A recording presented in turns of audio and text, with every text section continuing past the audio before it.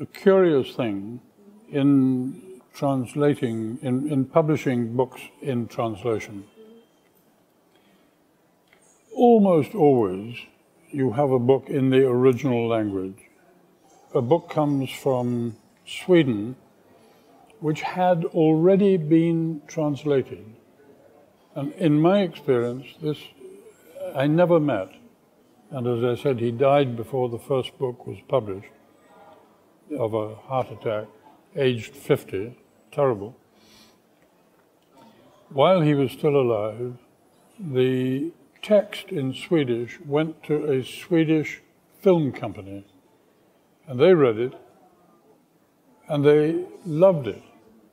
And they said, We will buy it immediately, which made the author very happy.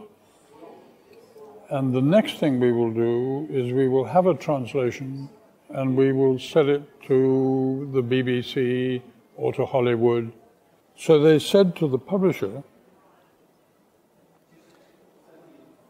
You will, if we buy the film rights, you have to put the book into English. He finished this 1500 page work inside one year. It was a miracle.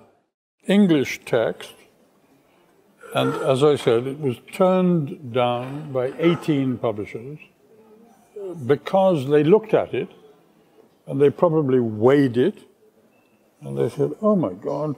By the way, in, in Sweden, it's not called um, The Girl with the Dragon Tattoo. That was my fault. Um, it's called Men Who Hate Women. And I went once to a, a conference of librarians, and I, there were 300 people in the room. I said, if this book had been called Men Who Hate Women, would you, who would have bought it? Three people in the room said they would buy it. The French title is Men Who Do Not Love Women, which means something completely different. Success of all of those novels lies in the passionate admiration that readers have for this young, violent, very clever, very troubled woman. And I, I love that book. And I, as I said, 13 and a half million people bought in England two years ago.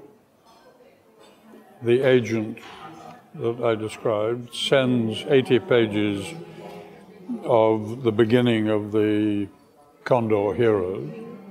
I read them and I couldn't put it down. I was enchanted by the way he was telling stories.